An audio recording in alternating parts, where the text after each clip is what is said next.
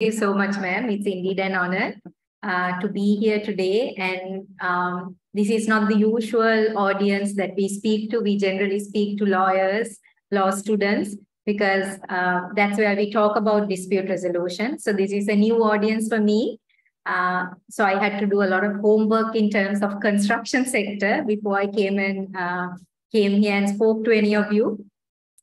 So I can assure you that as far as possible, I have read into construction contracts and all the trends in construction contracts recently. So I just wanted to briefly give you an overview and outline as to what we will be looking at today. Because at the very outset, I realized that for some of y'all, uh, it must have been uh, quite a question as to why are we talking about dispute resolution as engineers and what exactly can a lawyer tell us in this regard. So just to give you a brief uh, outline as to the agenda.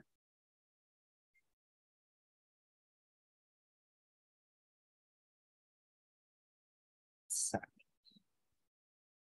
Sorry, I'm trying to go to the next slide.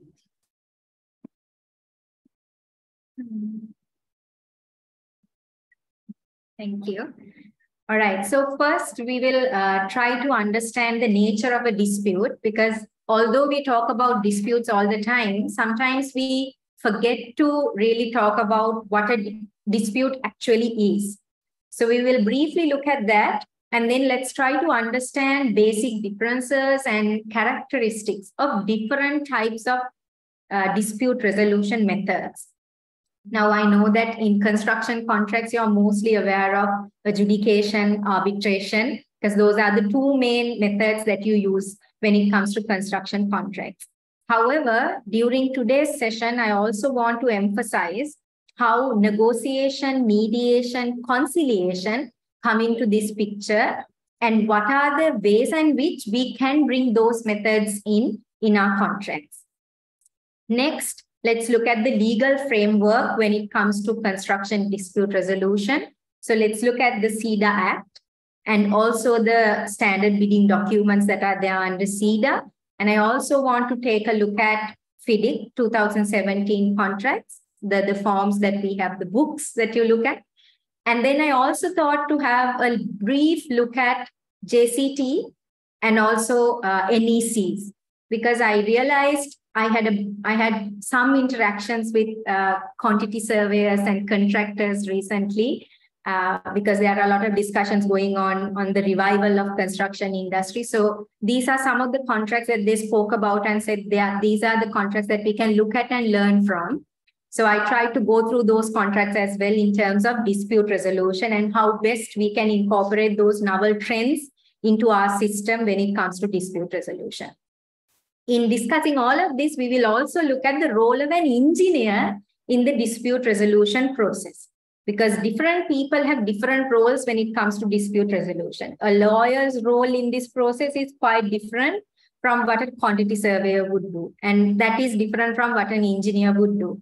So from the research that I did and from the people that I spoke to with regard to the role of an engineer, what I understood, please correct me if I'm wrong, is that you are this vital third pillar when it comes to a construction contract. You have your employer, you have the contractor, and you are that uh, pillar that cannot go missing, who would at one time act as the agent of the employer, but at the same time, who would have to act as that neutral third party who makes fair and unbiased decisions to make the contract going. So you have a lot on your shoulders other than the mathematical duties that you do that somebody who's looking at an engineer from an outside would think ah, an engineer is a person who deals with numbers all the time. But from what I understood, you do a lot more than that. Dispute resolution is one of them, one of those most difficult tasks that you deal with in, in a construction. So if I have got all of that right, I hope I'll be able to share with you some important insights as to all these key areas that I am hoping to cover with all of you today. But there will be a bit of a difference. Um, I am not very much in favor of uh, one-way lecturing. So uh, you will have to work with me And I'm going to learn from you uh, because you are the subject expert in the area. So what I can tell you is I can throw some ideas at you. You can tell me whether you are in confirmation of those or whether you disagree, and then we will we can build a discussion on that. So to start with, I have a question for all of you. What is a dispute? Now, from what I understand, you deal with disputes from the start of a contract till the end, and even after you build a building, for many years, after many years, a dispute can come with regard to whatever that you have built and you have supervised, right? So I think we have given you a small booklet with a file. So in that, it's a notebook. If you can take a piece of paper from that book or on the book itself, I want you to draw something that comes to your mind when you think of a dispute. I do this exercise with a lot of uh, uh, people, including law students, lawyers of different seniority. So I have seen how uh, people look at disputes. So let's see how engineers look at disputes. So I, I just want you to draw something that comes to your mind uh, that would explain what a dispute is like.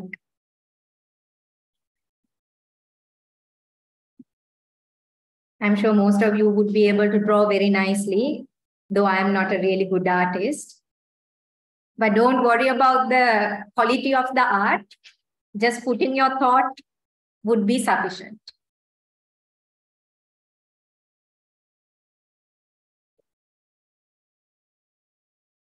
It's best if you don't write any words. I generally tell lawyers not to do that because lawyers are very, you know, pros in writing like pages and pages and pages. So that's why I said to draw something, just a small thing.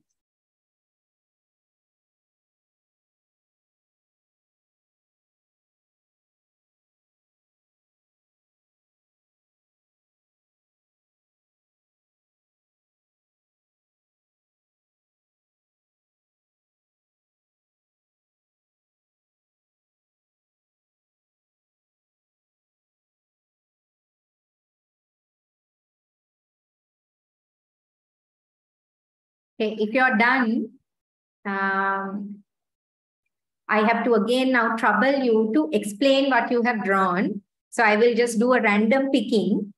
Okay. And I want you to help us understand how that picture explains a dispute.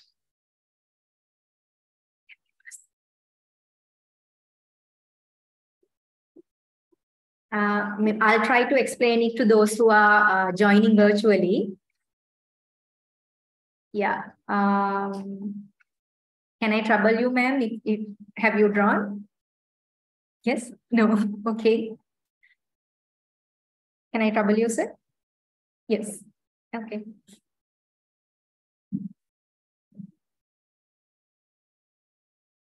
Yes, thank you.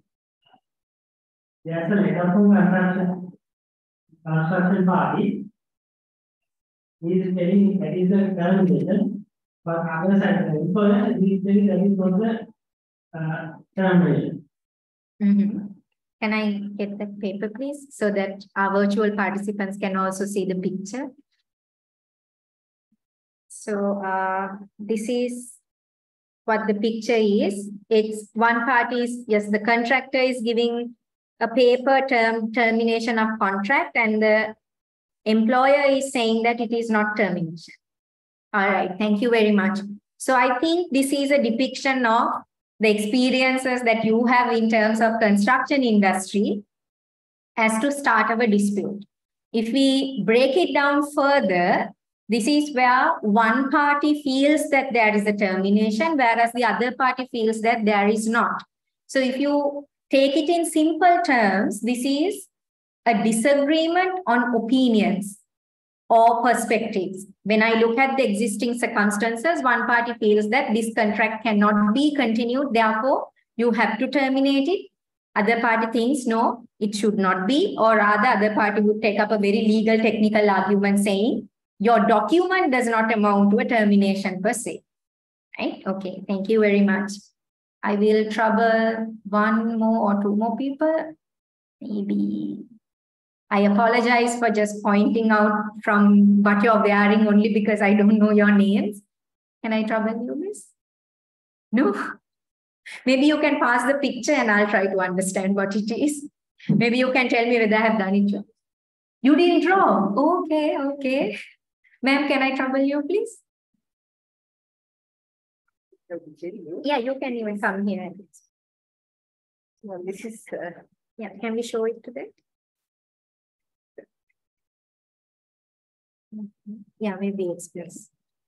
uh, no, what, what this dispute is, uh, according to the contract documents, uh, there, there are uh, limitations, what are the borrowing depth? We have to go inside the prop, right? But people i- try to interpret it in such a way that they will go for from the cutoff point, they have to go another depth, but they, I, now I am not much, uh, I can't remember exactly the figures, but there is a dispute in that decision. So this is what I. All right, thank you very much, ma'am. So that once again is, I think, a point on interpretation. People have their own interpretations, and according to each person's interpretation, you have disputes arising. Do we have any volunteers so that I don't have to point out, but somebody who wants to? Yes, please, yes. Yeah.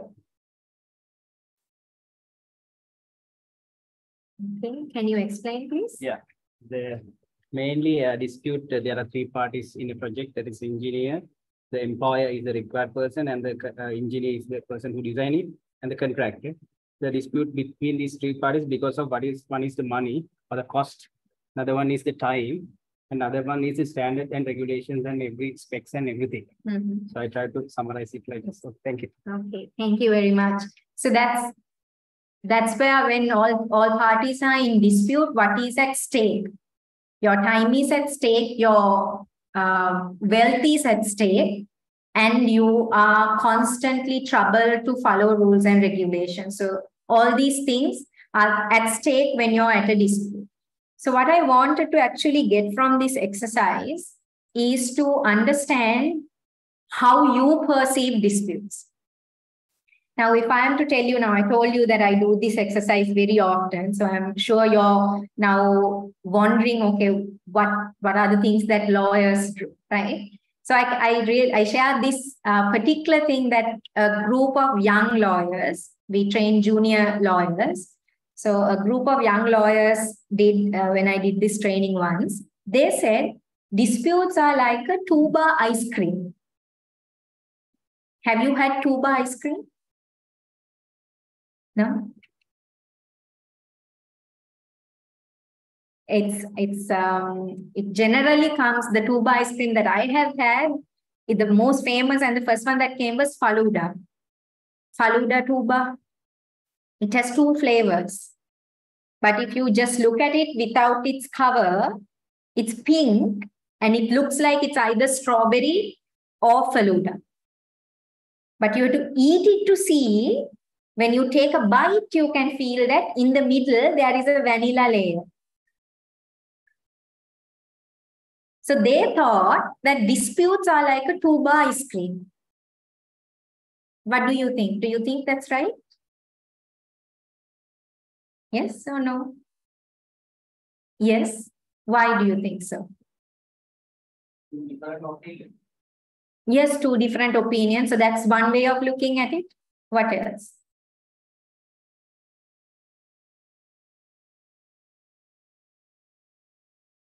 So instead of chocolate cake today, if I ask uh, engineer Himal, Mr. Himal to bring uh, tuba ice creams for all of you today, but we give it to you without the cover. Right? If we gave you a pink color ice cream without telling you what it is, then how many of you all will take it and eat it? A simple question because some people don't like Faluda or strawberry, right? But some love vanilla. But when you look at the ice cream, you wouldn't know that there is vanilla. Right? So you might sometimes take it and. If you are a hater of vanilla ice cream, The moment you realize there's vanilla in it, you'll be like, oh, I don't want to eat this. Right?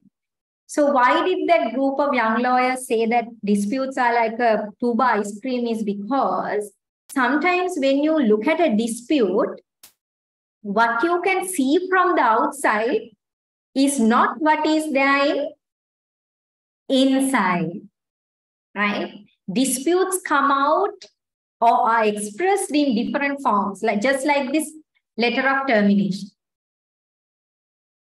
it will come out as a termination letter, which will, if you try to deal with that letter, it's simply a letter of termination saying, okay, we can't work.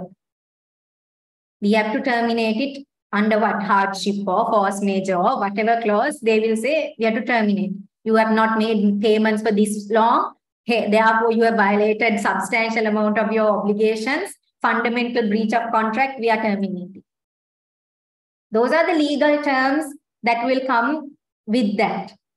But sometimes when you look at the dispute, when you go into the dispute, you will realize that, well, it's not really that, but sometimes it might be the ego of the contractor. Very high ego, doesn't want to listen to the engineer at all. You know, always fights with the engineer, doesn't take engineer's word, you know, at all, always doubts the engineer's impartiality and wants to get into trouble. So now he's instead of resolving that, he is now coming and giving a letter of termination to the employer and saying, look, I can't continue this. But if you look at it, what has happened is over a period of time, he has been, you know, has having trouble with the engineer or something. Just an example. But I'm sure you must have experienced that kind of situations. Because when it, particularly I, I have heard of things like when you have very big contractors, sometimes it's very difficult to convince them on your advice or instructions that come from the engineer, right? So it can be situations like that. So internationally, uh, people uh, who talk about dispute resolution say that disputes are like an iceberg. Okay. Why is that? Once again, in an iceberg, there is a part that you can see and a part that you can't see, right? What happens when you don't see that bottom part?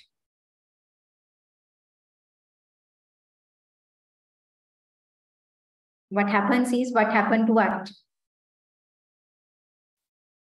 Now, I'm, there was a disaster that was caused because somebody didn't see the bottom part. Yes, Titanic, right? What happened was they thought the top part was, they calculated the, the distance towards the iceberg by looking at the top part of the iceberg. They completely disregarded the fact that there can be a bottom layer that you can't see, which might be closer to the ship, right? So the bottom part can be either very big or completely different from size, nature, everything to the top part. So similarly, in disputes, there can be a part that you can't see, not can be, there is often a part that you can't see, neglection of which can lead to disastrous consequences. If you just look at the top part and try to address the top part, you might be left with a disaster in the end, just like what happened to Titanic. Right? So that's why it's important for us to first know, as people who are engaged in dispute resolution, that not every dispute comes to you as it is with all its characteristics. Nobody brings to you a dispute and says all about you. Because all what you will see is what? Uh, a disagreement, uh, notice of disagreement, dissatisfaction in NODI, right? You just see that. It might be, it might come with a lot of technical terms, but you might not know anything more than that.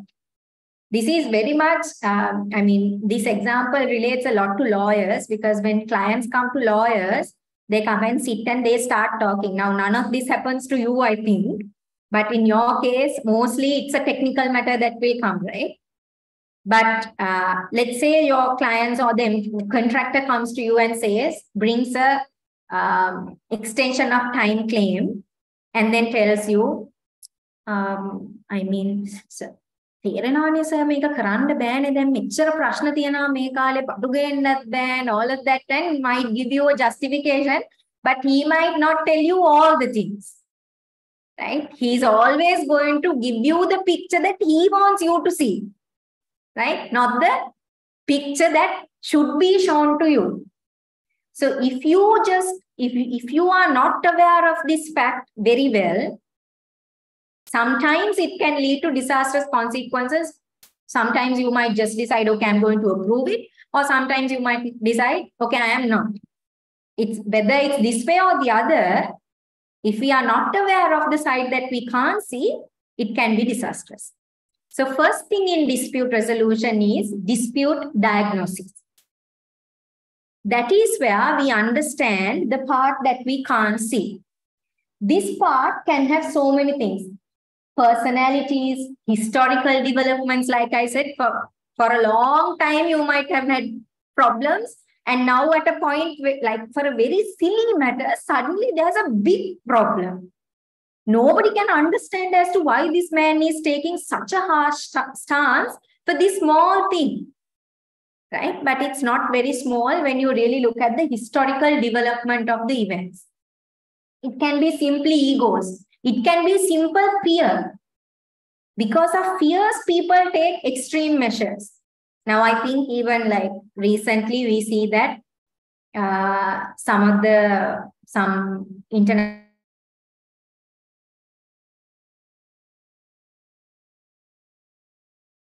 just immediately they were thinking of stopping these things in uh, end of year and now they're suddenly stopping in no end of february we are stopping right? That's all what they say. And everyone is in trouble, right? So there can be so many reasons behind these decisions that we really don't see. Okay, so it's very important for us to first understand this part that we cannot see.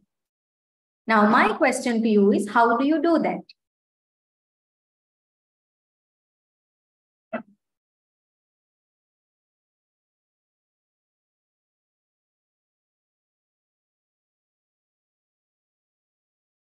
So it's not as hard as the math that you deal with. Okay. Uh, it's, it's actually a process of questioning, but not questions that we as lawyers ask in the courthouse in cross-examination, not that type of questions. Generally, you can get to the bottom of a problem. See, that's in colloquial language, we say, no, I'll get to the bottom of that. It's the bottom of this that we talk about all the time you know without knowing it we say that no i'll get to the bottom of that problem so you just have to keep asking open ended question right why do you really think that this contract cannot be taken forward. In your opinion what is stopping this? Right? So let people talk about it a lot more because papers will not carry everything. Papers oftentimes carries half. The full part you have to extract. And that doesn't come out even in general adjudication or arbitration. It doesn't come out because you always work on this top part, positions. But if you really want to get to the bottom of it, you have to ask these open-ended questions and then identify the part that you can't see. That is where we talk about dispute diagnosis only when you know what this dispute is really about, you can decide the type of method that you want to use to resolve this dispute. Uh, now, if I want to stop here, I know now in your mind, so many questions are piling up. One, how can we do that? I mean, in the contract already the dispute resolution clause is there. Now, what is she talking about? How can we decide after diagnosis?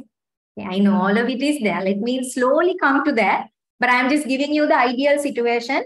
Whatever it is, you have to first do the dispute diagnosis. Okay, identify whether it's a dispute that is arising out of data. Now, see, these are causes to a conflict. There can be so many types of reasons for a conflict. Most of the times in construction disputes or anything that involves mathematics or data, it, it would come as a data conflict. It can either be lack of information. There might be things that you know, Employer knows, contractor doesn't. Contractor knows, subcontractor doesn't know. Right? So information has not, not passed, especially when it comes to variation. Right? Sometimes the variation request has gone and uh, the contractor has done some variations and informed the engineer. Engineer's approval has not gone. Now the payment is delayed. So, things in between communication, numbers, information. So there can be so many different types of reasons. But if you do the diagnosis properly, you can identify it. Now imagine if there is no, there can be conflicts where it at the very outset looks like a number matter, mathematical issue. But when you really look at it, it might be a simple miscommunication. But if you try to handle the numbers at the very outset, leaving out miscommunication, you're just leaving space for the next problem, next problem, and the next problem because you have not addressed the bottom of the problem. Okay, so it's very important to do the dispute analysis, identify the causes for the conflict that you're dealing with. Okay, now once again, we come to the point, how do we do that as engineers? Because this is not where your process starts, right? Your process starts at a different place. Okay, so um, we will go through these few things quickly because we are going to get to the most important parts thereafter.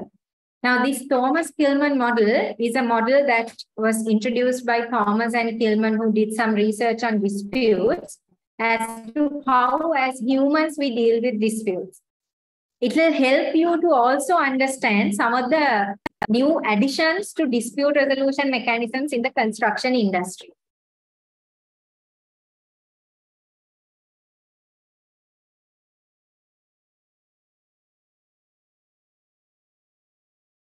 All right.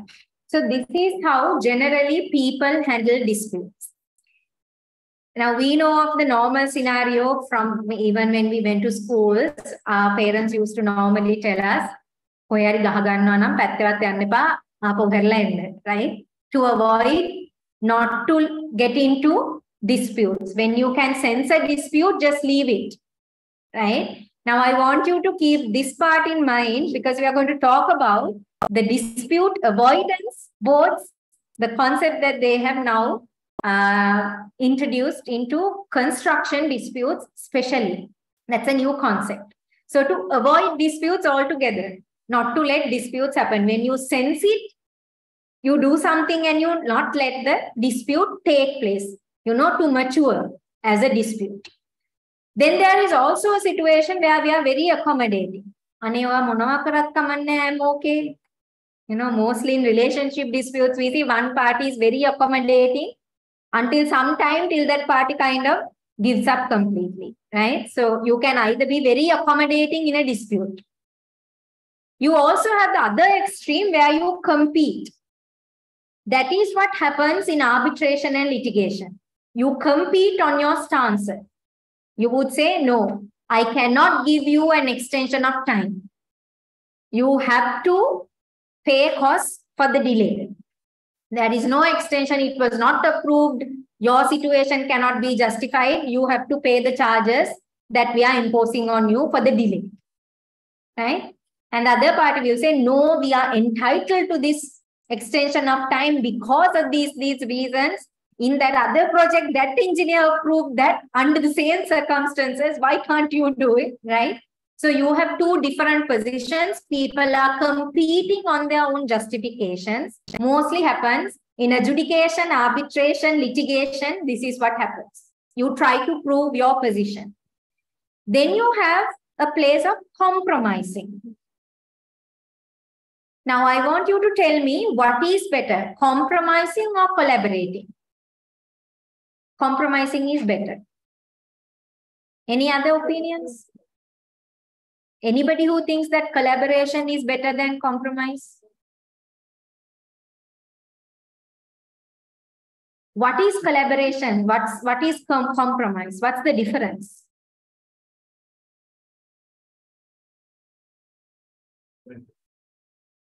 Yes, give, give and take is compromise.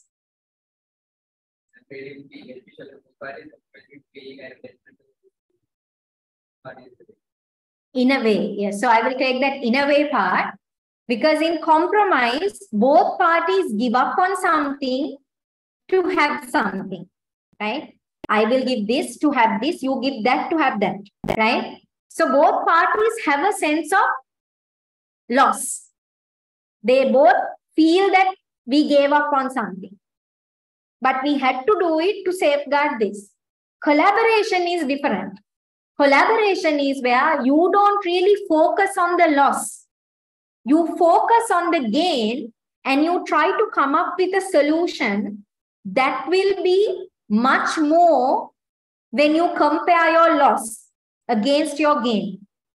So a collaborative effort, you would not feel like you have lost. Now I'll take a very simple example. This is a question to you once again.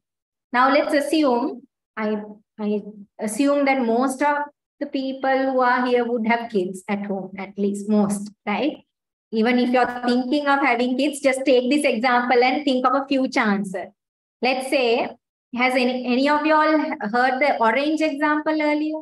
Anybody? Yeah, I know one person. Uh, okay, maybe you, you have to now keep your mouth shut without saying anything. Others, you don't know, right? Okay.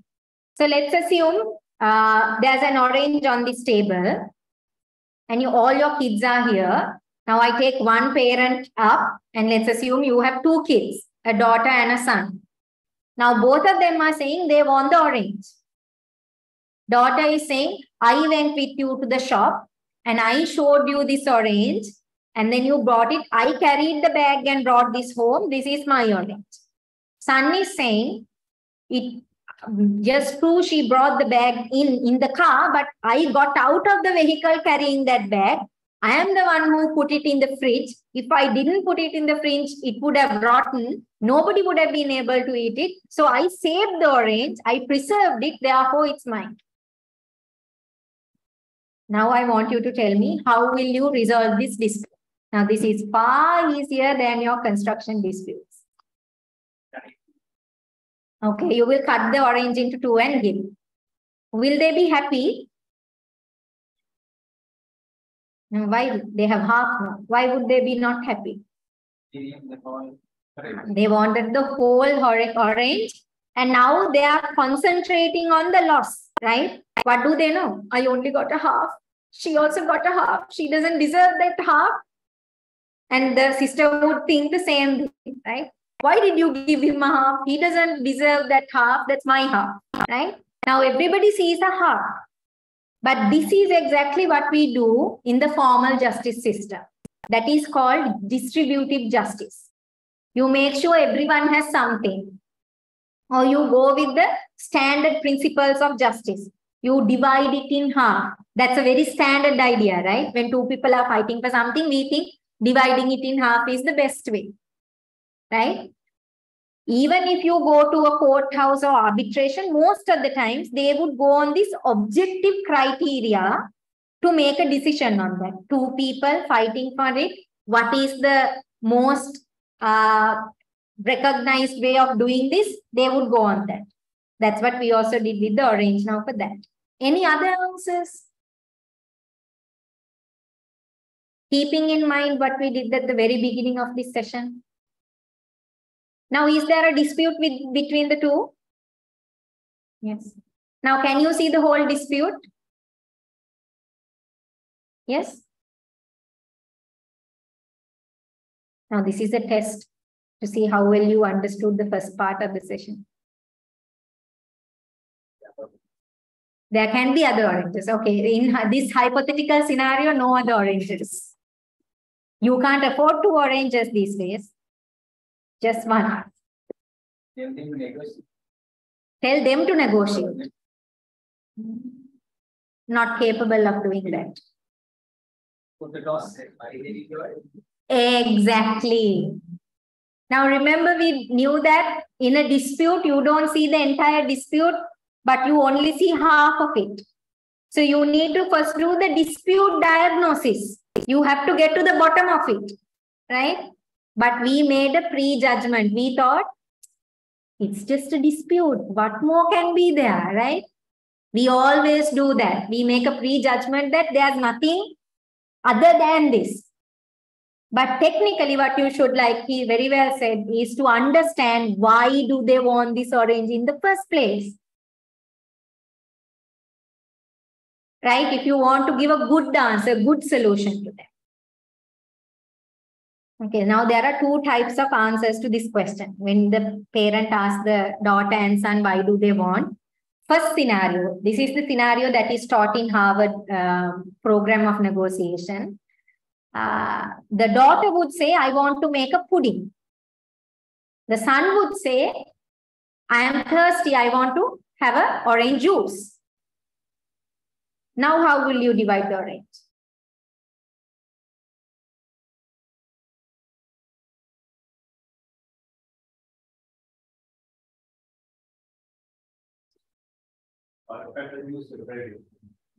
Exactly. Now, for that, you need to first know how to make a pudding with orange. How do you make pudding with orange? You need the zest. You just need the peel for that. You don't need the pulp. For the juice, you need the pulp. So you get the on entirety of the peel to the daughter. Go and make the pudding use as much as zest you want. තිත්තම තිත්ත වෙලා යන හරි සෙස් දාගන්න ඇති තරම් දෙනවා entire peel. For the son who wants the juice, take the entirety of the pulp. Have they lost anything? No. Is there a sense of loss at all? No, they got what they want. But had we gone on to give a decision without knowing why they want it, what have we caused? wastage of resources. Person who wants the drink would use that half the pulp and make a drink and throw away that other peel, which the daughter could have used. Son could have very well used the other pulp that the daughter is going to just throw away because now they're angry at each other. They are never going to give that other half, even if they get to know that the other person will benefit from it. That's the nature of humans. Once you lose once, you're never going to give up, right? So that is why it's important to do the dispute diagnosis well before so that you can come up with the best form of decision that will give both parties a winning solution without a compromise. Now that's an easy scenario. When this scenario was given, I was thinking to myself, oh, that's easy. They want two different things now. Now, what if they both want juice? Now, how will you resolve the dispute? Now, trust me again, this is the easiest kind of dispute you can ever get. Now, they both want juice, you have one orange.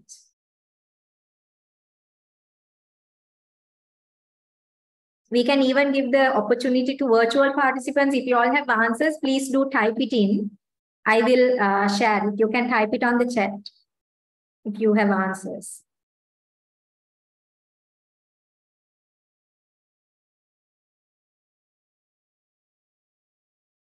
Don't know what to do?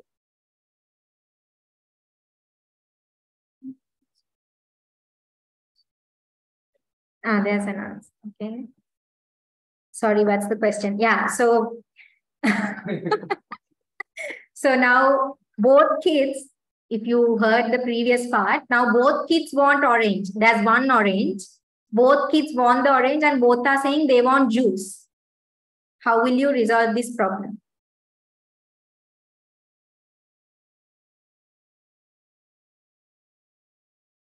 Dilute the juice. Okay, wait. Okay, what do you mean by dilute? How many? Uh, Just two kids.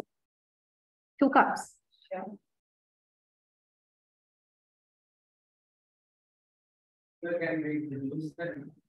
Exactly. So, uh,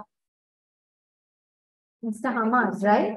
Yeah. So he, he, he gave the answer. In fact, I wouldn't say dilute, but if you just take it, like, uh, so you said, without dividing the orange itself, you value add to the orange.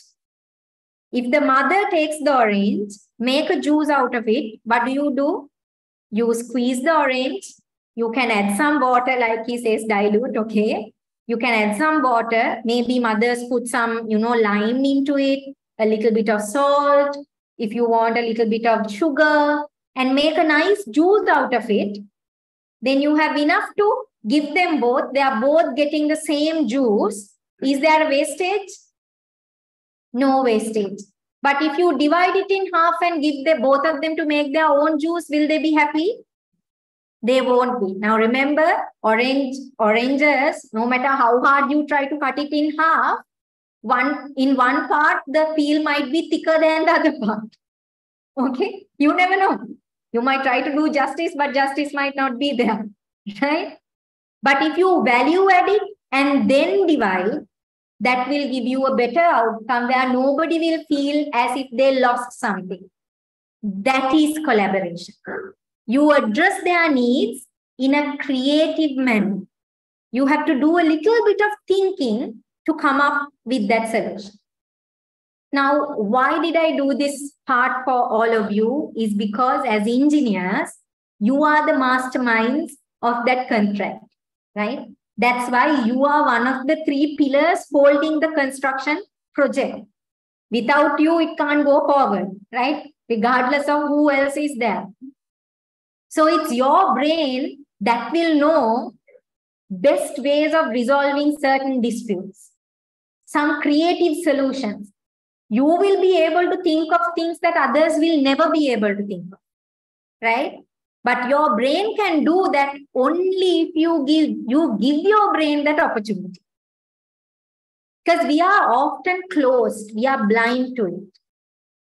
Even this orange example, not not that we never knew that you can make orange out of uh, juice out of an orange, no. But to think that it will be a solution, it takes a little bit of opening up. We have to first be open to our own creativity we have to first know that we are people who are capable of finding solutions. The moment we restrict ourselves, we rely on a third party to give us answers. Now, our culture, particularly the Asian culture, is as such, we have been trained to rely on a third party. Podikale, when uh, two kids fight in the class, what do our parents tell us to do?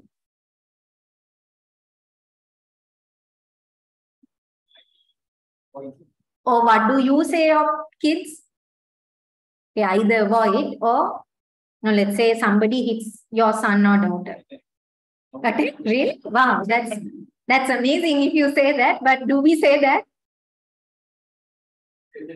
Tell the teacher. That's the that's what we say. Right? We always want people or even ourselves to rely on somebody to give us a solution.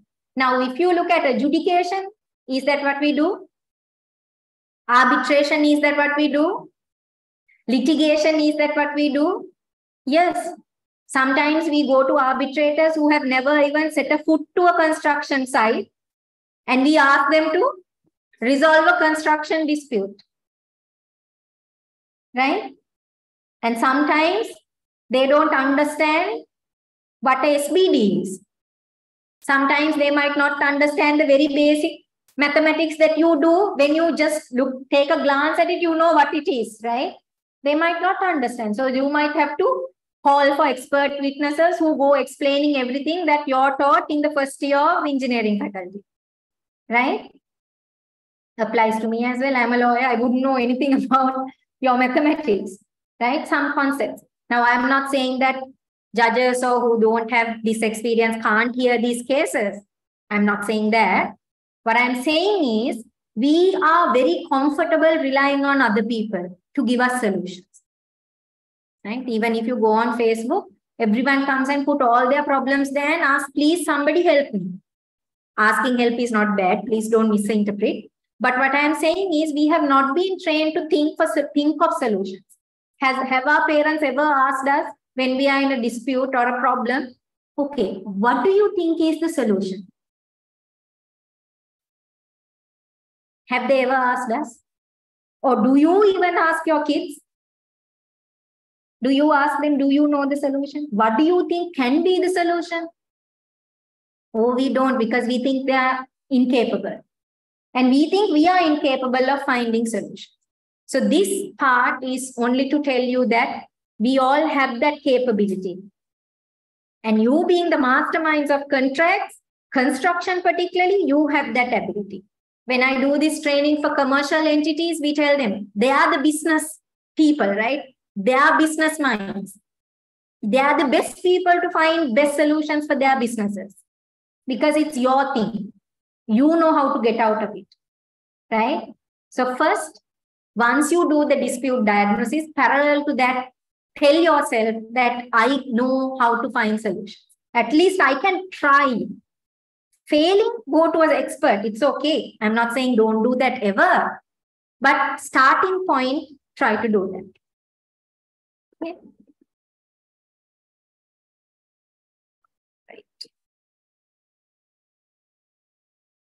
Okay, so then we come to the technical part. Now we have, we know, do the dispute diagnosis, be ready to collaborate, not always compromise. Don't think about resolving. Settlement means compromise. That's a myth. Settlement doesn't always mean compromise. It can be collaboration. Join, hold hands together, walk towards a solution that gives you a lot more than give and take. It can be a completely new solution like making juice, the mother making the juice. Okay. Now we come to different methods that are available for you to resolve your disputes. First one, as you all know, it's negotiation. Negotiations can happen in two ways, formal and informal. Informal one will not involve lawyers most of the times. It might not sometimes even involve yourself as engineers. It might simply go between the employer and the contractor in certain instances when it's heavily on business concepts or something like that. It might also involve you that can still be a negotiation, right? However, the most important thing in negotiation is you are the decision maker. You decide whether you want to settle or not. It's your game. You decide the terms. Mm-hmm.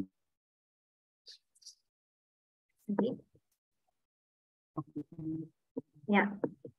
You decide whether you are going to settle. If so, on what terms are you going to settle? Now, in a negotiation, most important thing is that you prepare a negotiation strategy. Now, one thing to know is we do go for negotiations.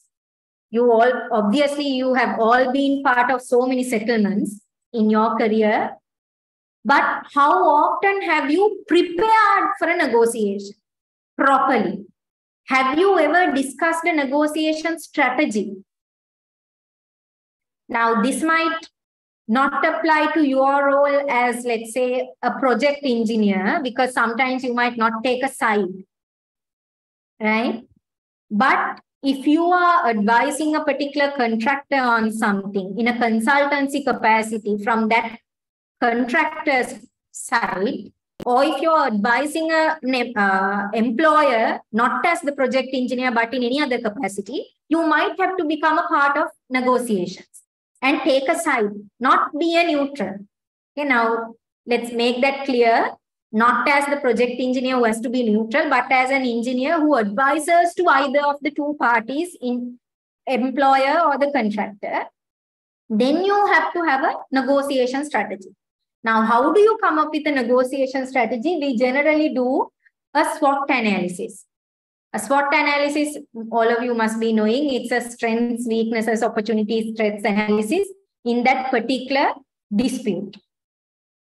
Parallel to a dispute diagnosis, you do a SWOT analysis, then you identify your BATNAs and WATNAs. What is a BATNA? BATNA is a best alternative to your negotiated settlement. Before you go to the negotiation, you need to know what would be my best alternative if you don't have a best alternative, you are weak in your negotiation because you can't walk out of it. You're scared. If this fails, you don't know what else to do. So to face a negotiation with a strong footing, you need to first identify what your BATNA is. You go to the negotiation thinking, okay, I need to get an outcome that is better than my BATNA. If not, I am not settling. You know, that's your top point. If the settlement is worse than your BATNA, you have to walk out. You can't sign that agreement because you have a better alternative. Okay, so that's why for a negotiation, BATNA is important. Then you need to know what your WATNA is. That's your worst alternative. Obviously, your settlement has to be a lot better than your WATNA. Okay. Next thing, we also learn a concept. I haven't put all of those here, but I will just give you the overview so that you know what to go and maybe do some further reading on. There's something called Malatna, M-L-A-T-N-A. Malatna is the, um, it's, it's where most likely agreement to a negotiated settlement. That's like, that's very similar to the concept of ZOPA. That's zone of possible agreement. When you draft your strategy, you can circle a particular area and say like we do in Venn diagrams අර Venn circles ඇඳලා අපි කියන්නේ මෙන්න මේ area එකේ තමයි මගේ settlement එක තියෙන්නේ වගේ you have to come up with a possible zone then you will know how to generate options මේ area එකේ තමයි මේ settlement එක ඉන්නේ මොකද අර පැත්ත කීයටවත් මේ කෑල්ල අයින් කරන්නේ දැන් හිම you can come up with a measurement no these people are never going to give up on this aspect. This is a vital interest for them. So you have to first identify your interests, their interests. My positions, their positions. My weakness, their weakness. My strength, their strength. My opportunity, their opportunity. So a SWOT is not only for you. You have to do a SWOT for them. Then set each party's interest and then see what's the ZOPA is then where can you place your creative options? If your creative options fall within that ZOPA, then you have won more than half the game. Because when you go to the negotiation table and drop these offers that are actually in the ZOPA, other party can't reject. Because your option really addresses their interest. That's why it falls within the ZOPA. Z, Z, zone of possible agreement. Okay, so these are the things that we have to strategize on. I apologize, I can't take more time on this, but I have just thrown in all the concepts that are relevant in the area. So you can do further readings on that. Next thing is mediation. Now this is, we think we are very familiar about it because of the Samatha Mandala. I promise that I will clarify this. Now, first clarification that I want to make is mediation is not Samatha Mandala. Medi Samatha Mandala is only a place where they are supposed to use mediation. Internationally, there are community mediation practices. Community mediation is Samatha Mandala, where you get a free mediation service. Now, first disclaimer is in Sri Lanka, you don't see a proper mediation practice in Samatha this is accepted across from I know of Supreme Court justices who agree with this stance. Because in Sri Lanka, what we see is a mixed method, a hybrid method of mediation and conciliation when it comes to Samatha. So what happens in mediation? It's a facilitated negotiation. It's actually a negotiation. Decision making power is with the parties. Parties have control over everything, but there is a neutral third party who helps you negotiate. Third party mediator cannot make decisions in a mediation. Mediator can't tell the parties, ah, you do this. He can't give his own ideas. Okay, there is a very thin line, actually it's not thin, between that and conciliation. So mediation is a facilitated negotiation where the mediator only facilitates the process. Now you might think, what is that? Is there anything to do? Of course there is. Negotiations oftentimes fail when there is no neutral third party because negotiations can come into an impasse because of egos, communication gaps, and inability to focus. Because when we start a negotiation, two parties, you can talk about everything irrelevant, but what is relevant. And you can't ask the other party, we have to focus because then they get mad and their egos get hurt and, you know. So there are a lot of politics in a negotiation like that. You need a third party to tell you, okay, calm down. We need to now focus. This is where we are. Let's take it like this. Let's be respectful and ask questions to help you focus and go through a process till the end. That is what a mediator does, not tell you what to do and what not to do as to the resolution. Okay. So there's high party autonomy, settlement agreement. Now, we often hear that are mediations binding? Are mediation settlements binding? No. What are the cases?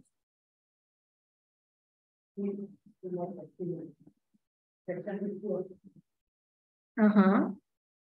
Mm, yeah, that also doesn't say that. Anybody who would say yes? Uh-huh. Mm, no, actually, that's not what that act also says. But the answer is there in this slide.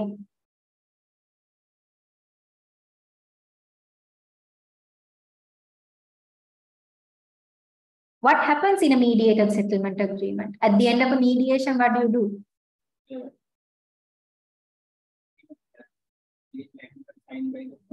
So if you agree on some set, settlement terms, you sign an agreement. Is it binding or not? Is it binding? Okay. So how is it binding? It's an agreement. Now, I don't say anything why you did. I mean, yes, you said no, because that is what we have been taught. At the very outset, in any of the dispute resolution, not trainings actually, even at law faculty, the first time when I learned the module, what was taught was mediation is not binding. But that's wrong.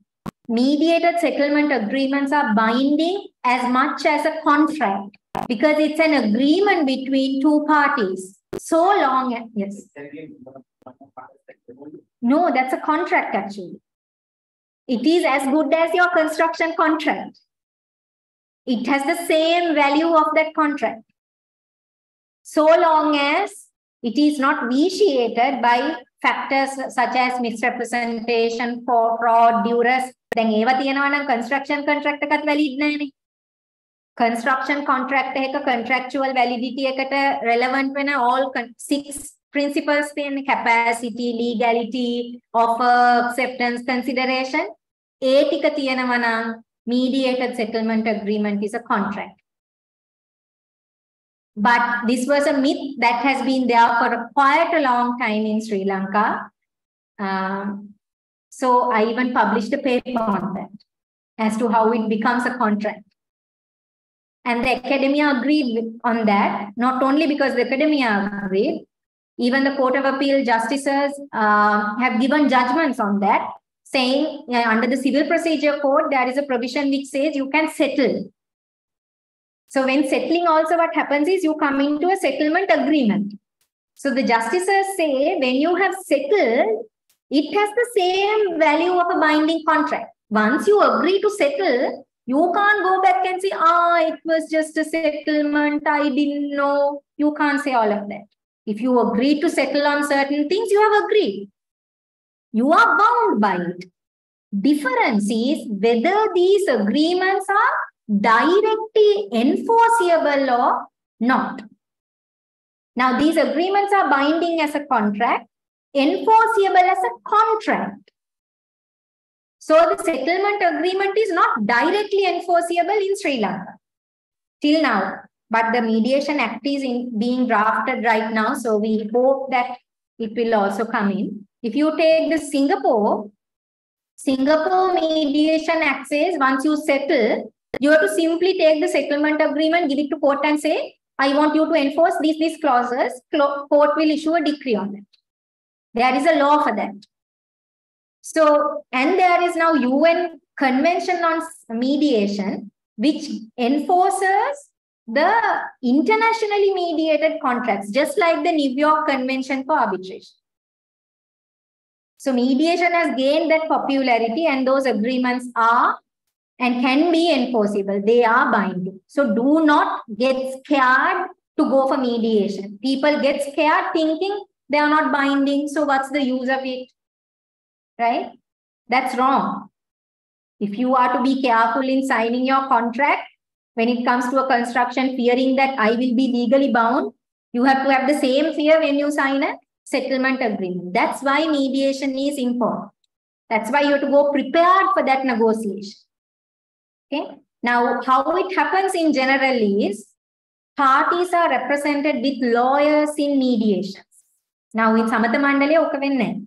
Samatha Mandalaya act itself leave the lawyers out. But international level and professional mediation level, you go with your lawyer. If you want, if uh, uh, your engineer, whoever your technical expert, because at the at the negotiation table, you have to decide on your interests, your liabilities, your capacity, everything. Right? So it's a big process. It's not a subtle process. That's what I wanted to emphasize. It is a process that carries legal validity. Then these acts, Mediation Boards Act, Mediation Special Categories Act, those two apply to Samatha Mandala, community mediation. Construction Industry Development Act, the act that you know, Section 50 says parties may, if they can't settle it on their own, refer to mediation by mediation or conciliation by the authority. So the authority has the power to provide mediation conciliation services. So if you want to, you can go and get those services from the authority. I think Himal and them are looking at giving those services from the authority. Uh, but one thing that I want to clarify is that act is very clear on May. It's an option for you. It's not compulsory. So if somebody thinks we, if we are to mediate, we have to go through the CIDA, that's not correct. It's an option. If you take a closer look at CIDA Act, every other section, professional person shall register. It's all the all those things are shall, shall, shall, shall. Those are compulsory requirements that it sets out. But this, they specifically use the word may. If the party so wish, I think that's the reading so it clearly gives the parties the autonomy because mediation is technically a voluntary process. You can decide who your mediator should be, where do you want to do your mediation, all of that. So it's party autonomy. Okay. Uh, then even if you take SBDs, I will go to that later. We'll finish this first. Then you have Commercial Mediation Act. This act, though it came in 2000, Sri Lanka is very famous for this uh, this center was never set up. There were so many attempts by uh, leading professionals like Ms. Dara Vijay Tilaka and all of them and Chamber of Commerce to set up this center, but they couldn't do it because of several inefficiencies in the act itself. So the act is there, no center. Uh, Companies Act also recognize Part 20 specifically companies disputes to be resolved through mediation. So I just wanted to tell you how important and what type of importance Sri Lankan law has given to mediation. Because we sometimes look down on it. We think ah, it's not a proper process. It's not binding. That's not true. Then in mediation, there are also concepts like judicial mediation, where the judge mediates. We also have this concept, concept in Sri Lanka, Sri Lankan Court of Appeal Supreme Court mediation rule, uh, there is a Supreme Court rule which says Court of Appeal can me mediate appeal matters. Judges to sit as mediators. Court of Appeal judges can sit as mediators and in Court of Appeal they can mediate. Rule came in 1990, once again still not happening, but the rule is there and actually now the judges are looking into this. Because all around the world, Canada, high level of success in appeal mediation by judges. So that is happening in the world. Singapore, specially judges are trained in this subject. Court annexed mediation is another concept where the courts themselves refer matters for mediation. I don't want to emphasize on all of this because that's more or very much relevant to lawyers. Um, but just to know that mediation is important. Okay, then we come to conciliation. Most important thing is to understand the difference between mediation and conciliation. Like I said, the line between mediation and conciliation is conciliator has a power of decision making. Mediator does not have a power of decision making.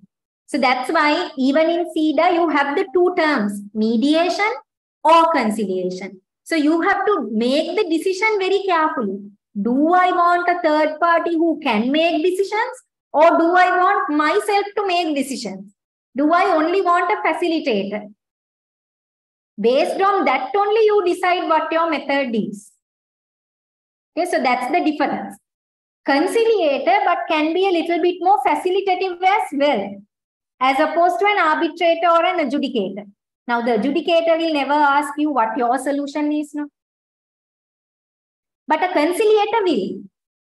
Conciliator will ask you, do you have an option? Do you think this is better? He will put some suggestions and see. But if you can't agree on any of those things, he will finally give a decision and he will try to make you agree to that.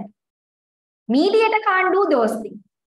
But I also want to stress upon the fact that in mediation also there are different types of mediation. Evaluative mediation comes very, very close to conciliation. But th there is where you have a very thin line. Now, if you go to Singapore, Singapore construction mediators come very close to evaluative mediation. That's very close to conciliation. But they still doesn't, they don't impose the solution on you, but they bring you closer to that, very close to that. Because sometimes construction disputes can be highly technical.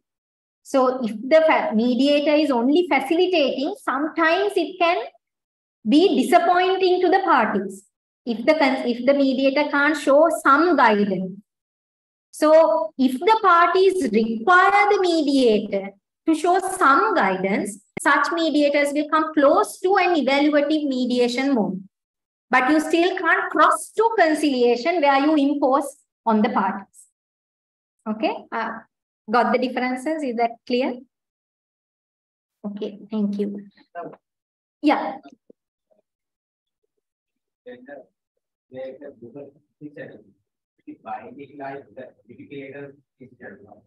Generally, that's how your contract defines it.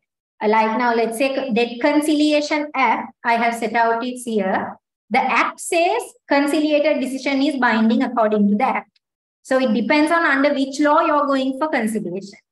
If your contract says it's, it's, it's up to the parties or that you can challenge it, then it's it's not necessarily binding or final rather. But actually that is how you term it in your dispute resolution clause. Now, as project engineers, you might or might not have a control over that. Sometimes if you have to go with a standard clause or if you come into the contract after the contract has been drafted and agreed upon. But for if you're an advisor to an employer who's trying to come up with a contract, then you can essentially play an advisory role and say, look, this is how you have to draft this clause. Don't set to one thing. What I always encourage is to go for a mixed method. Keep it open to go for a amicable settlement at any point of time. I will show you how. Saying that you can't modify the authors in the SBD other than the uh, volume uh, two that is uh, either uh, filling the blank side. Mm. Other than that, uh, you can't Correct. So what I'm saying is not to make changes to that, but I will show you how the uh, SBD clauses actually leave you space to get into this. So, uh, all right. So in conciliation, I wouldn't go uh, to any more complexities because the most important part was explained. Then we come to adjudication. In the construction industry, you're very much familiar with this. Dispute adjudication boards, expert determinations, neutral evaluation. Whatever the name you call it, ultimately what happens is there is a third party expert to whom you make submissions, then that expert gives you a decision. Again, based on the law under which you are going for this, it can be final, it can be not final. Right? There are certain laws, I mean, even the CIDA, even SBDs, what tells you is within 28 days, if you don't challenge it through arbitration, that becomes a final and binding decision. Correct? So that's again how the term has been, how, how that uh, dispute resolution clause is worded and where this is placed. Okay. Uh, since you are very much aware about this, I'm not going to explain it in further. Arbitration. So that's like the last resort in construction industry, right? You don't want to go to litigation, but you try to uh, go for arbitration because arbitration and litigation is either or. You can't have both, but you finally get pushed on to litigation because if you want to get it enforced, you have to go to court either way. Now, what has happened is you spend time, our uh, years in arbitration, then you spend some more years in litigation. So the whole point of arbitration is lost. Right? So that's why once again, we encourage you to think of amicable settlement even when you go for these processes. How? I will start with the Arbitration Act. Now this applies to SBDs as well. All the SBDs say if you are challenging adjudication decision, you have to go for arbitration. And the SBD also says arbitration, the law governing arbitration, lex arbitri would be what? Arbitration Act of Sri Lanka, 11 of 1996. Section 14 of 11 of this act says, from the moment you initiate an arbitration, and at any point of time, you can settle the matter through mediation, conciliation, or any other method. So just because you have an arbitration clause in your agreement, it doesn't mean that you can't mediate. It It doesn't mean you can't negotiate. It doesn't mean you can't consider it.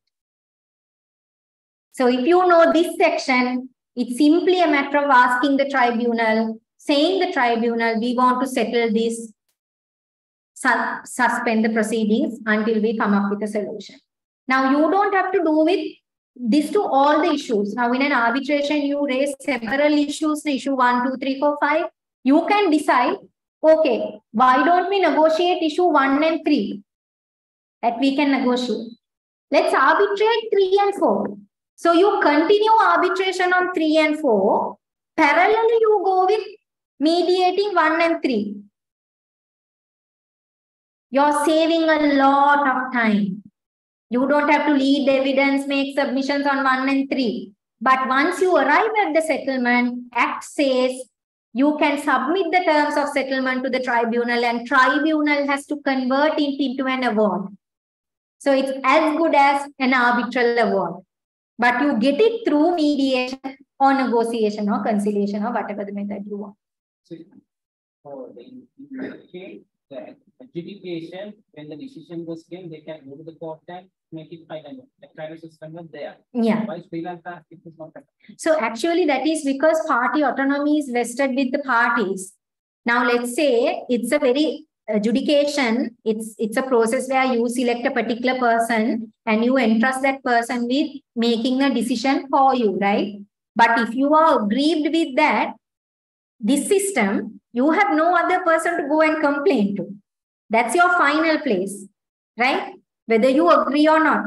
Here, the system has given you more space if you're not agreeing to go for a more rigid process where it's a fully fledged hearing in adjudication, you don't get a full hearing like you do in arbitration or in litigation.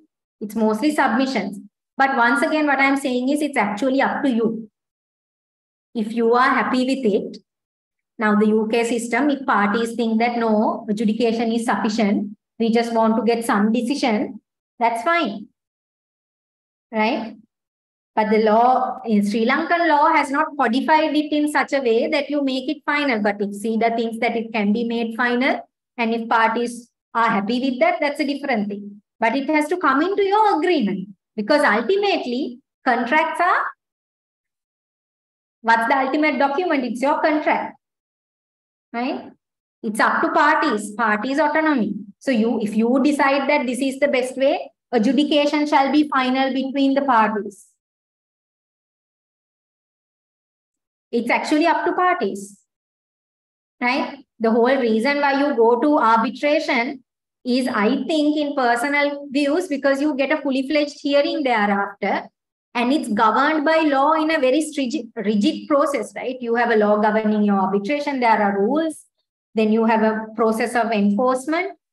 But now, like uh, Mr. Imar said, if there is a process, direct process of enforcement, actually some people prefer that because then you can't challenge it.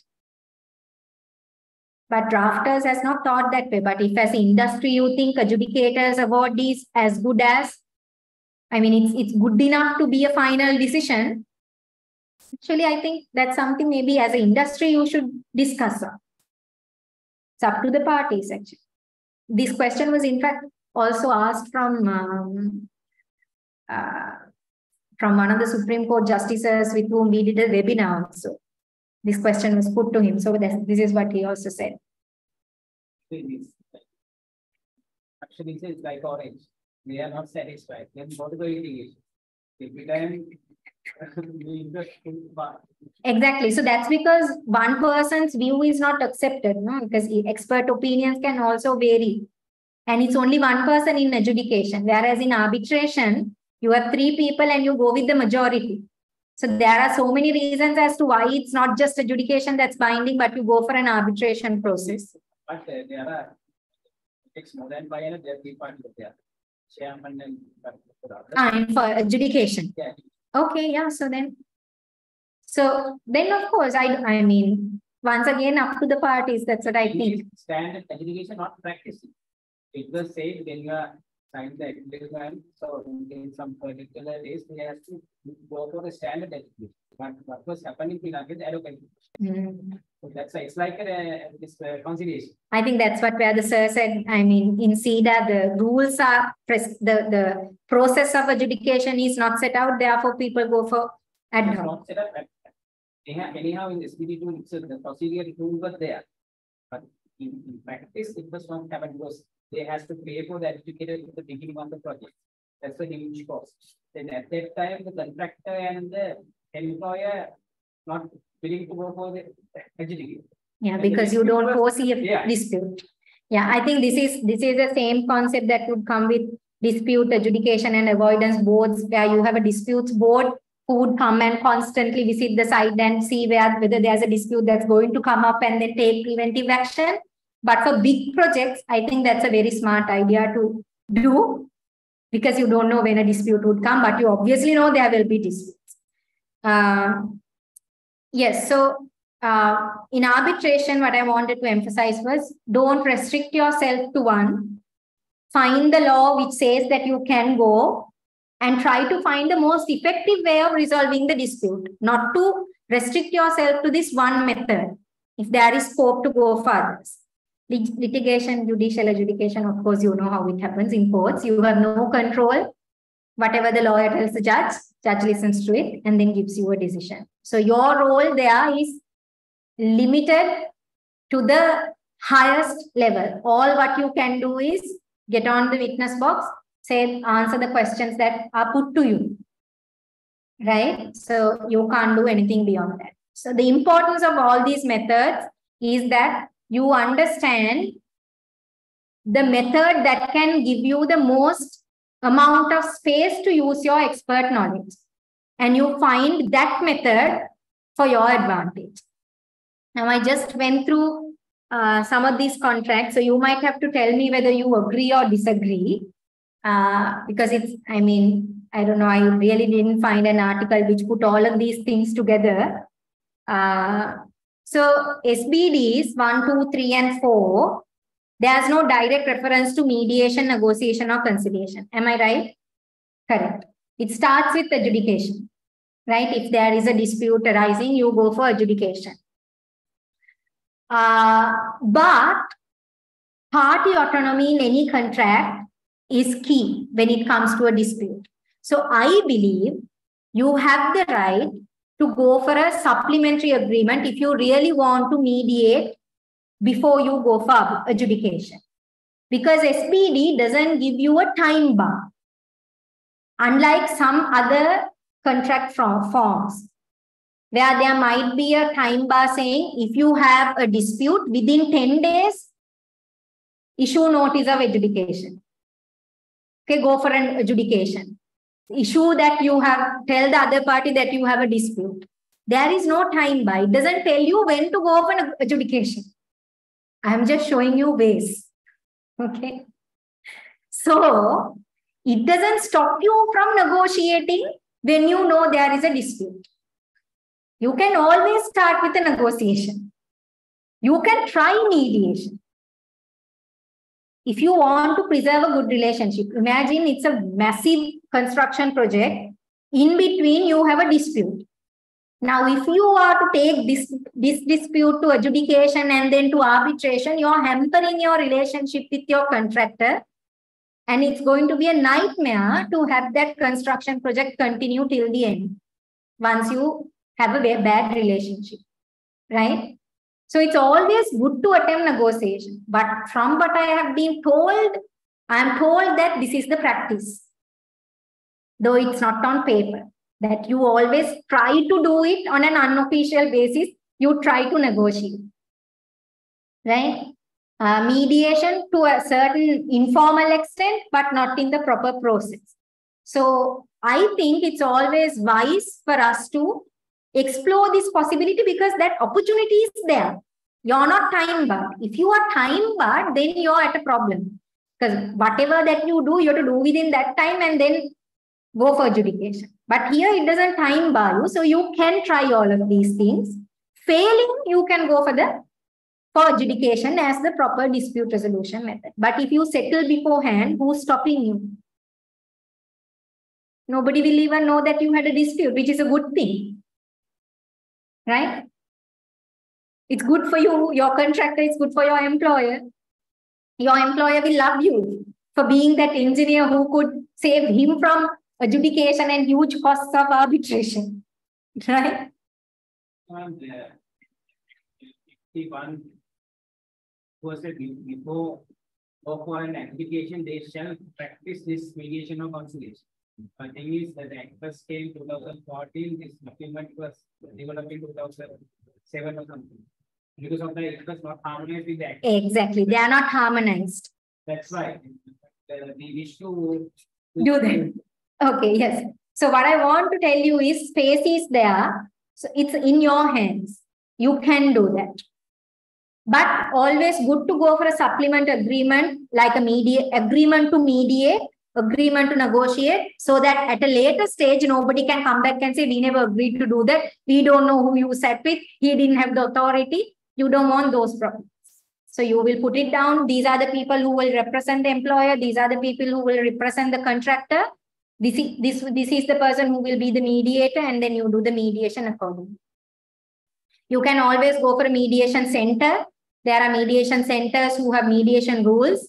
Even if your arbitration clause is ICC, International Chamber of Commerce, you still have possibility to mediate. So this, this is what I want to tell you. Don't worry about the words that are in your contract only there are ways in which you can mediate, you can amicably settle. Amicable settlement is not something illegal to do. It's just that you have to find the legal way of doing it, proper way of doing it.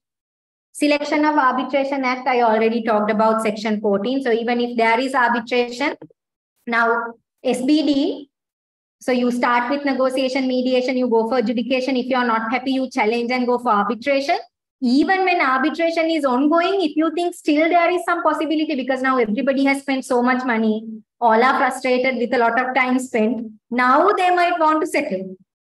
You know, you never know. Because I know of a case where after 20 years of an IP battle, in the Supreme Court level, they settled. Two big companies. Right? After fighting for 20 years, they settled. So if they can settle after 20 years, definitely whatever the stage because you might think ah, by the time it comes to arbitration they don't want to settle. No don't prejudge. You never know.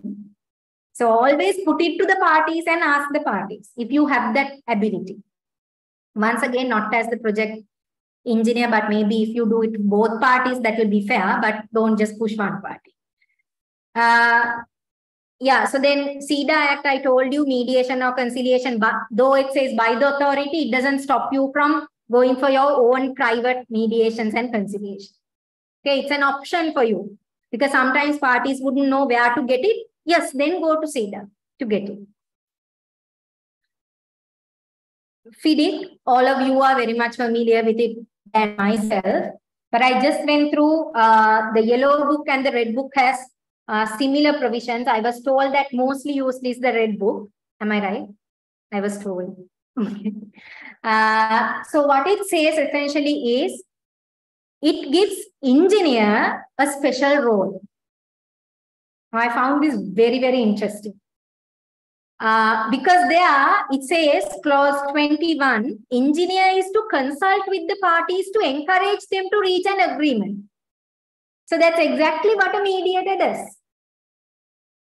This is essentially telling you that the engineer can act as the mediator. Because if the engineer is to act impartially if the engineer is a neutral if the engineer is to be fair for both parties engineer has all the qualities to become a mediator. But I always uh, say that it's best you get trained as a mediator, accredited as a mediator, because the mediation process, you have to learn, you have to learn the skills of a mediator and all of those things. But your position is very much valuable for you to act as a mediator in this process because both parties have faith in you. That's why you're given that position, right? If the two parties don't trust you, you can't be the engineer of that project anymore, right? So FIDIC 2017, this clause essentially places you in a position of a mediator. And that's the starting point. And it gives you 42 days to explore this.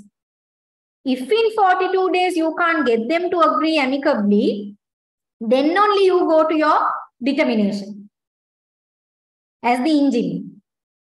Right? So this is this I thought is a very good point for us to know as engineers, you can play a role of a mediator in the dispute resolution. Then you have the DAABs. That's the newest concept, which is Dispute Avoidance and Adjudication Board. It has two roles. One is a preventive role. Second one is the adjudication role, the usual dispute adjudication. Now, the avoidance part is where, again, the dispute disputes avoidance board has to act as a mediator.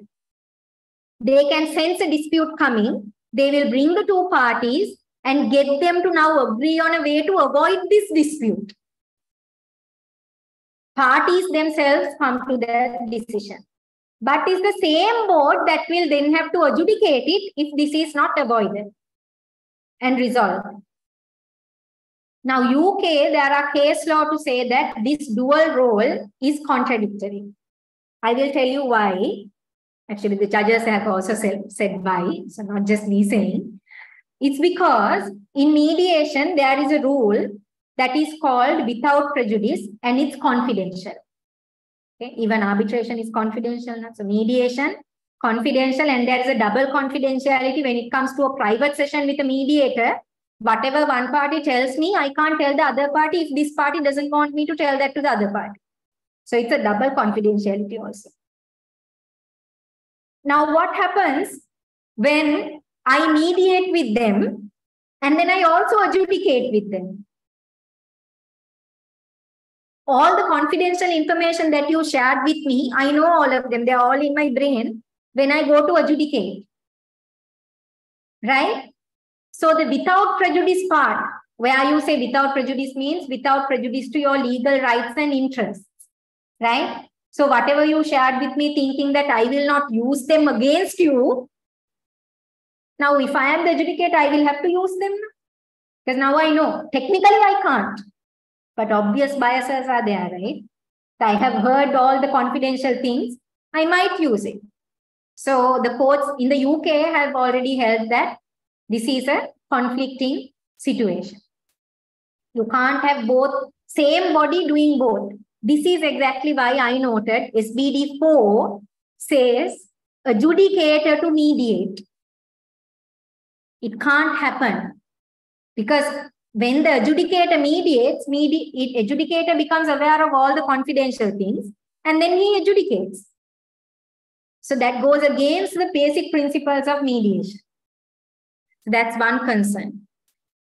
Then there is another amicable settlement option. Now see the how the process comes. You have they have given you first time to again settle. Then another avoidance period is there. Again, you have amicable settlement option within 28 days before challenging the adjudication decision. Just like here, even under SBD, you have 28 within 28 days challenge.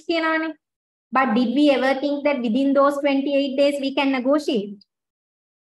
No, what we do is අර දවස් 28 ඇතුලේ we draft papers and we plan for arbitration, right?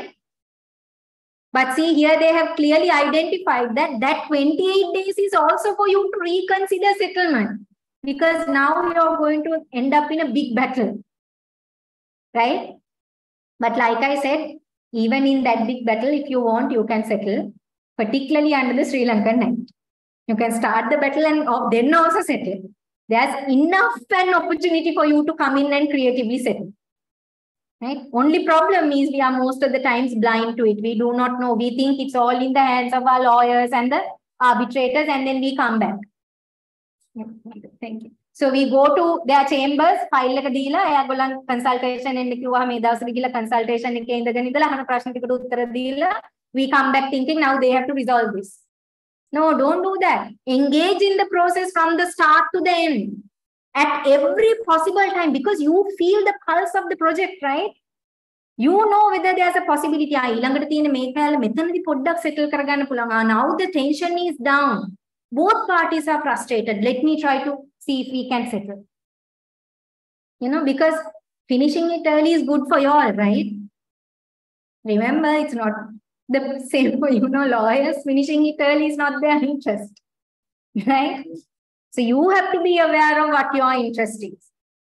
Now don't think i'm a lawyer and talking against lawyers. No for lawyers what we say is faster we can resolve disputes more the matters that come to us right? More the trust we earn. So it's a two-way process. Not bad for either party good for both parties.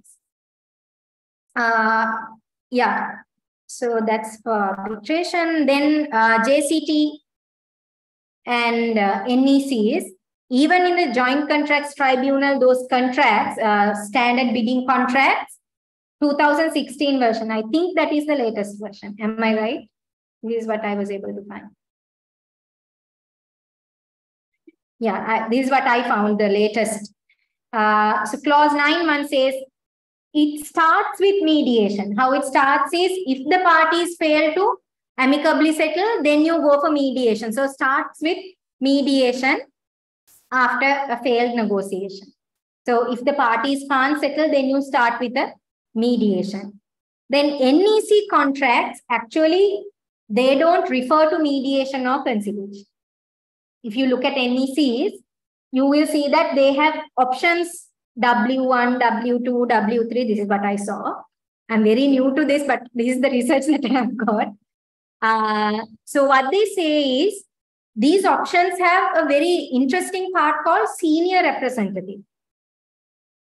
I haven't gone much into see who a senior representative can be, but I kind of guessed that it can be a role like an engineer who is impartial, neutral, and uh, is able to be fair in the process. So, yes. So, senior representative option is essentially a place where you can use mediation and negotiation because it gives the opportunity for the senior representative to see whether it can be settled. In that process, what the senior representative can use are these methods. So these contracts might not sometimes directly tell you that whether it's mediation, negotiation, or conciliation. But it might leave you space if it says parties to decide, parties to settle. Remember, that's an indication of party autonomy. They are giving you the decision making power. In the dispute resolution methods we now discussed, mediation, negotiation are the top two methods which gives you fullest party autonomy. So you look at the wording, you see whether there's party autonomy, then you look at the dispute resolution methods and pick the methods which gives you that highest party autonomy. Then you see whether you can find a way in the contract to facilitate using this method. That way, you can find the most appropriate method to resolve your disputes with less cost, less time, and safeguarding the interests of your employer as well as your contractor working collaboratively. So my final point is mediation or negotiation does not have to end up in a compromise. They can end up in a collaboration so long as you put on your creative hats and use your expertise to come up with a collaborative solution that addresses the interests of all parties. Thank you very much.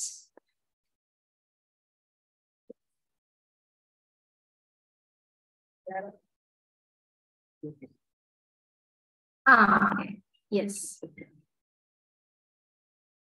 Uh, as per FIDIC 2017, engineer no need to act impartial. I, are you referring to the agent concept, is it?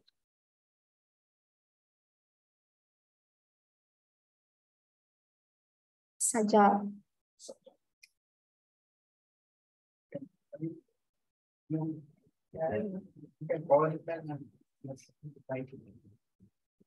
Sorry. Uh, hi, Sajal. I? Ah, yes, yes, yes, yes. So yes, I understand that. Um, that's why I said, I think the contract started where they said engineer to be an entirely impartial person. But it seems that the concept has changed over time. And now this law of agency and identifying the engineer as an agent of the uh, employer has now surfaced. So it's there. That's why if the mediator, if the engineer is to act as a mediator, what you need is parties' consent. If the parties are willing to accept you as a neutral third party, if the parties can place confidence in you to act neutral, then you can mediate. That's why I said, if whenever you are going for such an agreement, get it in writing. If before every mediation, we sign something called a mediate, uh, an agreement to mediate. In that agreement, we say both parties agree to appoint this person as the mediator. So if you agree to appoint that, then no problem. But I agree with agree on this point. Without doing that, if you just automatically assume, anybody can later raise this point and say, mediator was not really impartial because he was also acting as the agent of the employer at some point, because that's true. No? You act as the agent of the employer at some point when you give instructions, right? So, yes, correct. Does that answer your question, Sajal? Yes, we can also.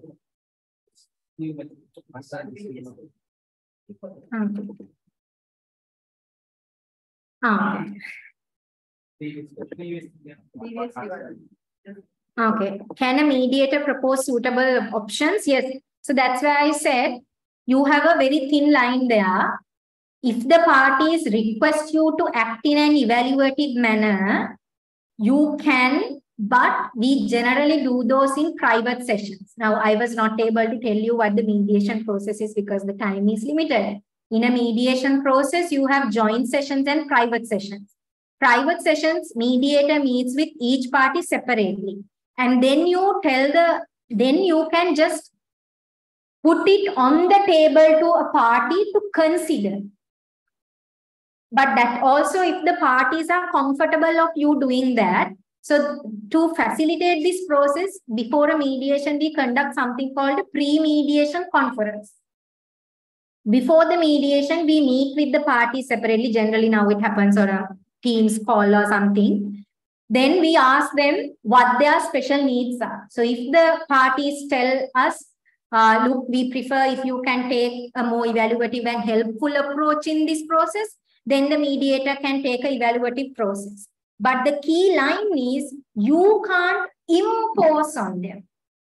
You can't tell them, ah, this is very easy matter, you know, nothing to consider. You pay him this much, you do this. You can't do that. It's up to the parties. In a private session, surfacing solutions if the parties are struggling with finding a way to get out, then yes. I hope that's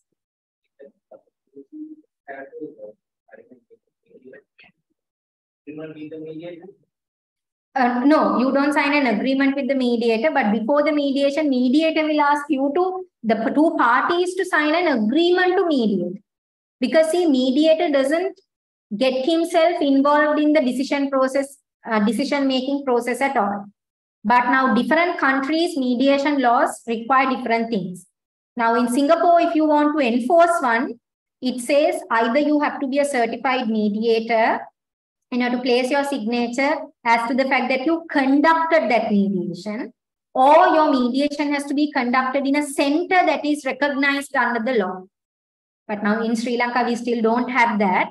So either way, if you have a valid agreement, that's why I said when you go for a mediation or a negotiation, it's always advisable to take your lawyer with you. Because at the end of the settlement, you have to get your lawyer to draft your settlement terms.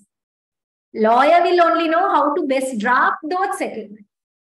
See, that's where we come together. You can do the thinking, you can negotiate, you can bring in the new solution, but we as lawyers help you put it into legal terms and make sure that there is no lacuna in terms of the law or legal validity of this binding contract. You know, I have witnessed this uh, mediation in Singapore uh, started at 9. We finished by 5. Uh, the two parties came uh, with their senior lawyer, uh, junior lawyer, and an intern, two huge firms in Singapore.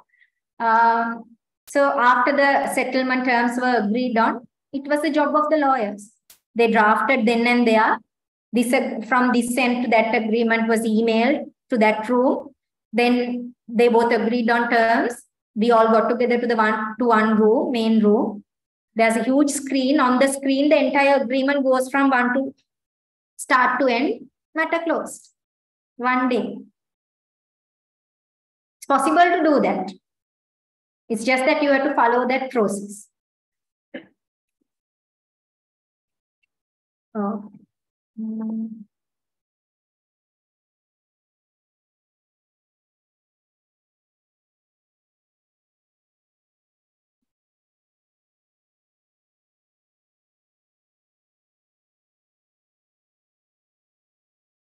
All right. Okay. Um, please explain a bit about UNCITRAL model law. That will take a bit of time, but yeah, maybe on another day, if there's time, I will explain on UNCITRAL model law because it's a lot. Uh, I don't think I can just rush through it.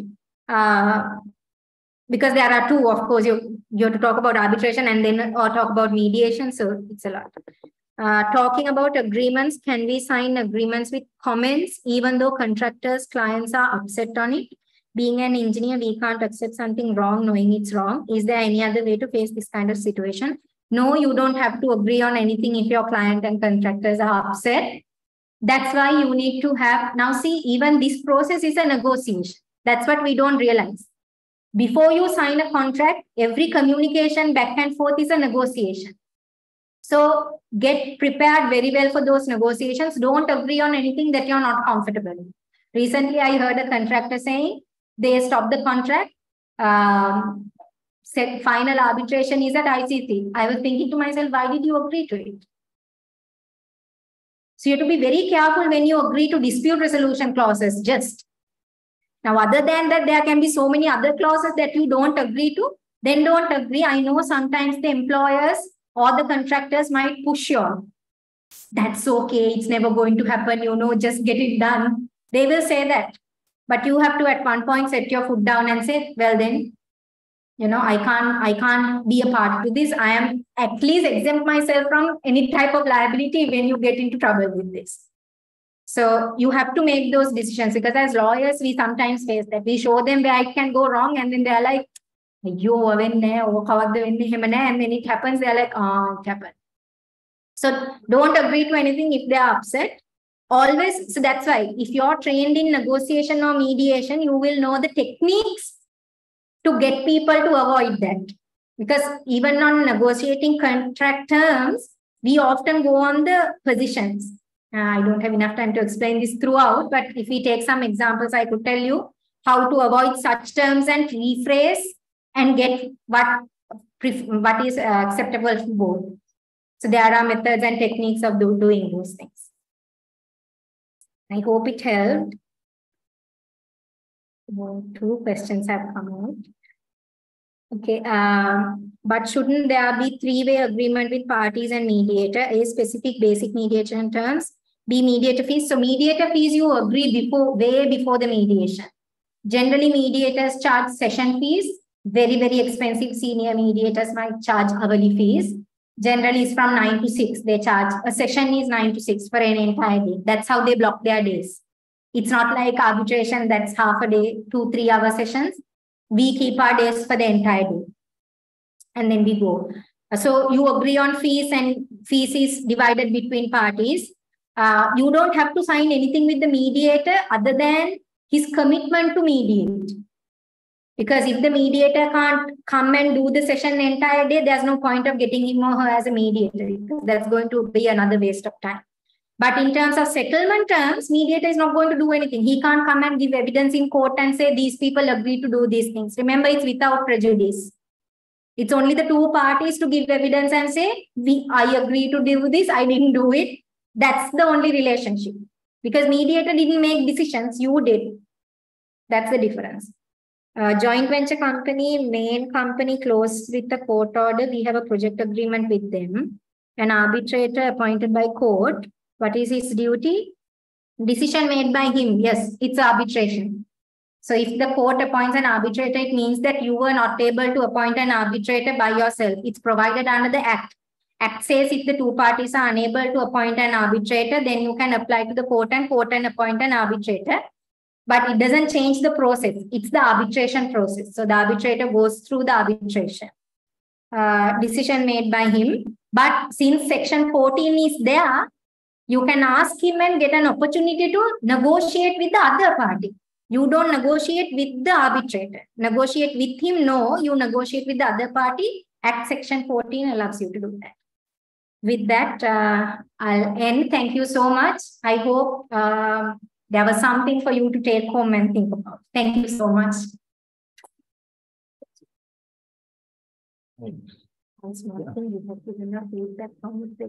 Okay. So, so there, there was one feedback form. So with the QR, uh, so I can move it.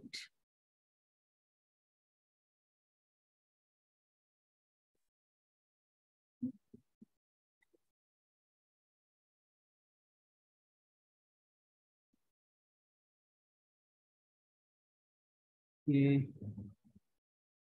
it clear? So you can uh, give your feedback from this lecture. So it clear? Okay. Oh, if you have a software. Okay, it. Okay, thank you, uh. So it's a wonderful evening and a full uh, presentation. So I cordially invite our uh, Civil, uh, Civil Indian Sexual Committee uh, Chair, Madam Kamala Gunawardhanan, to uh, give the uh, token of appreciation. Uh, Madam Sarani, you also uh, come to the audience.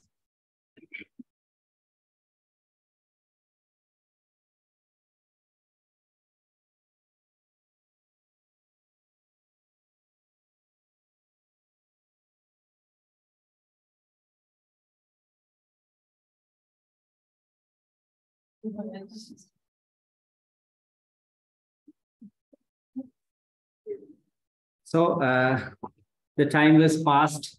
So uh, it was my uh, privilege to uh, deliver the vote of thanks on behalf of uh, Civil Sectional Committee.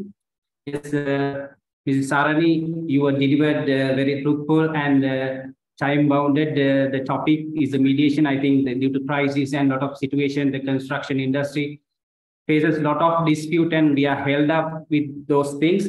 Uh, on this occasion, uh, I wish to thank uh,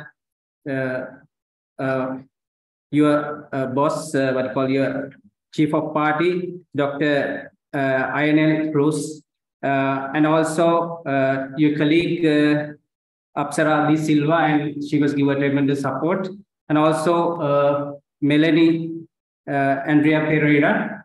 Uh, and also, uh, in this occasion, I wish to thank the people of America and the USA, the- those who have donate us and give the technical and valuable support for this country.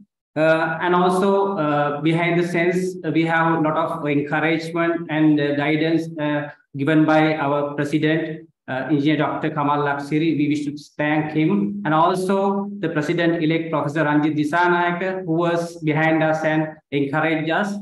And also, not at least, not at last, our uh, uh, CEO, Engineer Neil uh, and also his team, uh, especially Shamila, uh, Cha- uh, Chandana, and this,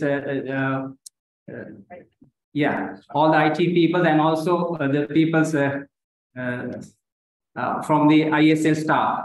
And also, we know uh, you are the strength for us, those who participate for this event. I hope you get some uh, uh, knowledge about uh, the mediation and the importance of the mediation. So wish to have another session. We will in, invite you to have another workshop type in physical activity in future. We are plan to do it. And also uh, little, uh, little uh, small uh, request. She will with a little bit of time. She will accept our invitation to come here. So thank, thank. I will thank all the audience and their valuable time with us.